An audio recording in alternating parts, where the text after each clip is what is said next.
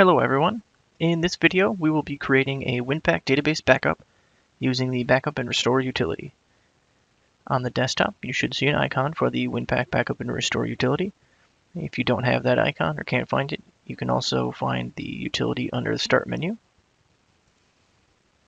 All Programs, Honeywell Access Systems, and WIN-PAK Backup and Restore.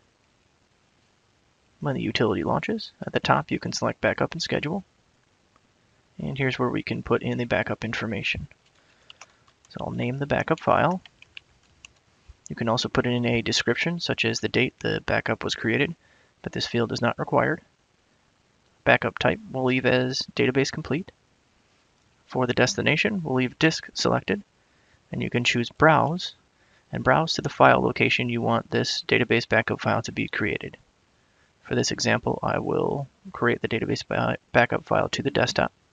So I'll expand the C drive, expand users, expand the Windows user I'm currently logged into Windows with, which for this example is Honeywell, and then select desktop. Once I select desktop, we'll have to manually edit the file name by putting in a backslash followed by the name of the backup file with a .bak extension and then select OK. We'll uncheck append so that it creates a new WIN-PAK backup file and continue. For the schedule type, we can leave as run immediately and then select finish. When the database backup file has been created, the main backup and restore screen will come up.